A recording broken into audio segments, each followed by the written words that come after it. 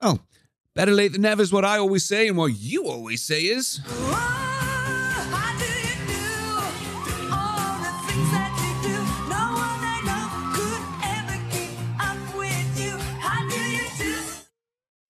That's right. All right. It was six years ago, mate, uh, that a young whippersnapper put an idea.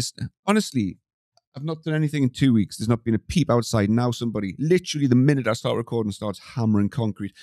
I put up an idea station post saying uh, some parts end up with a load of redundant sketches and work features, which are essentially orphans, unused, empty junk. It would be nice to be able to purge these out in one swoop awesome use of vocab there, Neil, uh, to keep the browser tidy. And in, the, in those six years, I've, I mean, I've got tons of idea station posts. I just get my emails just get just hammered with someone's upvoted this, upvoted that, and I just stop paying attention to them until yesterday. It got implemented. Ooh, right. I was like, all right, what got implemented? Oh, this one. Really? It took six. Okay, fine. Better late than never. So this is something that's useful for everybody, and it's going to be really quick because it's dead easy but it's only available for reasons that I'm sure Autodesk can explain. They decided to to keep this reserved to, to Inventor 2023.2 update. So if you've got 2023.0 or 2023.1 or any earlier versions of Inventor, apparently this won't work in that. Uh, incentives much to upgrade and keep your subscription going. Uh, but right, all right. So how does it work? you've got a model. It's full of it's it's full of busy, right? The browser's got loads of stuff in it, and you don't know your ass from your elbow in here, right? You've got patterns and extrudes and fillets and works work planes, axes, sketches, and like sketch ten, sketch set, right? Why are these just are these used for anything? I don't, right? I want to I want to clean it up. Is work axis three being used for any further features? Right. So what you've got now on the manage tab is this. I I think it's a it's meant to be a brush uh, or a, a, broomstick. It looks more like an orange potion vial, elixir vial to me, but never mind. Uh, whatever. Click that, and it, you get this box that says these are all the stuff. This is the stuff in your browser that's not getting used. Do you want to? Do you want to purge it? That's it.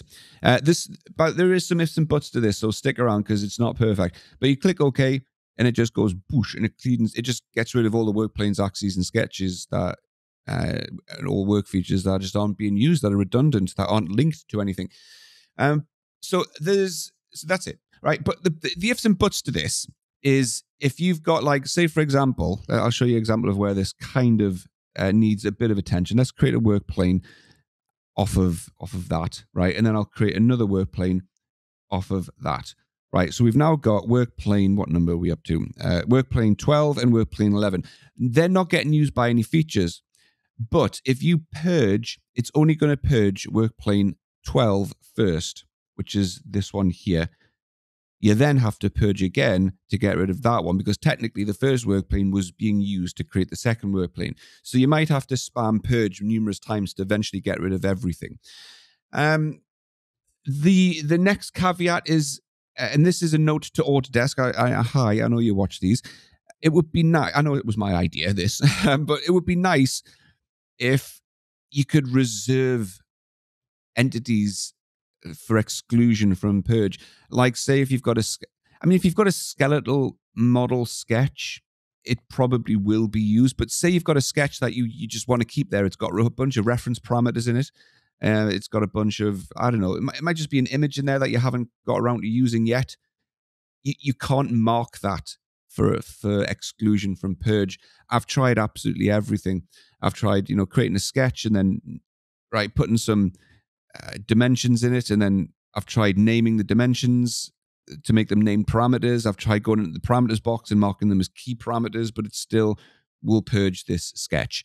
Uh, I've tried making the sketch adaptive just to see if that flags anything. I've tried, I've tried everything as far as I know, and I, I can't mark something for exclusion from purge. It's still just going to go purge. There's sketch 20. That's one we've just made. I mean, you can click no, but right, we all know humans are humans and humans forget. So, you know, you might just blindly go, oh, I need to purge everything. Okay. Oh, crap.